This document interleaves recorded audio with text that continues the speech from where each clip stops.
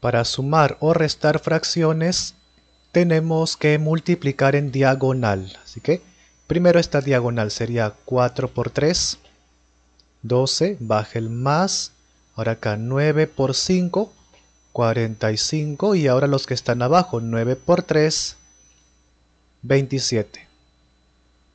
Arriba sería 12 más 45, 57. Y con el 27 de abajo se podrán simplificar. Sí, ¿verdad? Porque se pueden dividir ambos entre un mismo número. Entre 3, o sea, tienen tercia. A ver, acá, arriba primero. 57 entre 3 es 19. 27 entre 3 es 9.